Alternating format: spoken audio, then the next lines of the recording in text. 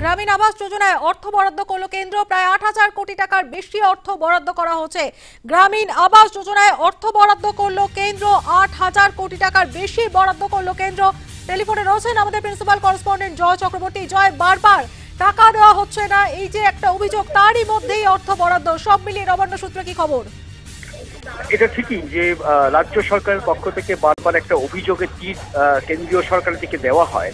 যে বিভিন্ন ক্ষেত্রে যে কেন্দ্রীয় অর্থ- বরাদ্দ করা হয়, বিভিন্ন কেন্দ্রীয় প্রকল্পে সেইগুলো বিভিন্ন সময় দেওয়া হয় না। এটা ঠিক যে একশো দিনের টাকাটা প্রায় সাড়ে ছ হাজার কোটি টাকা, সেটা কিন্তু দেওয়া হয়নি এখনও পর্যন্ত। কিন্তু তার একটা যুক্তি ছিল। কিন্তু সেই যুক্তির মধ্যে এবং প্রধানমন্ত্রীর সঙ্গে পাঁচ তারিখে বৈঠক রয়েছে মানে সামনেই বৈঠক রয়েছে এবং ওয়ান ইস টু ওয়ান বৈঠক হওয়ার একটা সম্ভাবনা রয়েছে প্রধানমন্ত্রীর সঙ্গে। ঠিক তার আগে কেন্দ্রীয় সরকার কিন্তু গ্রামীণ আবাস যোজনার ক্ষেত্রে আট হাজার দুশো কোটি টাকা বরাদ্দ করল। ইতিমধ্যেই নবান্নতে মেসেজ পাঠিয়ে দেওয়া হয়েছে যে খুব দ্রুত ওই টাকাটা কিন্তু ঢুকে যাচ্ছে।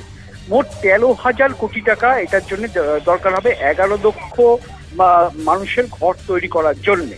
এবং সেই, তারই প্রথম যে কিস্তির টাকা, অর্থাৎ আট হাজার দুশো কোটি টাকা, সেটা কিন্তু ইতিমধ্যেই নবান্নতে আসবে, তার মেসেজ দিয়ে দেওয়া হয়েছে।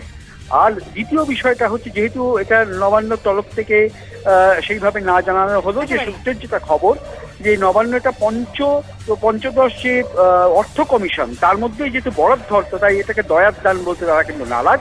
ফলে এটা তো নির্দিষ্টভাবে রাজ্যের জন্য বরাদ্দ, সেই বরাদ্দই পাওয়া যাচ্ছে বলে নবান্নের যুগ সুদীপ্তা। ধন্যবাদ, জয়।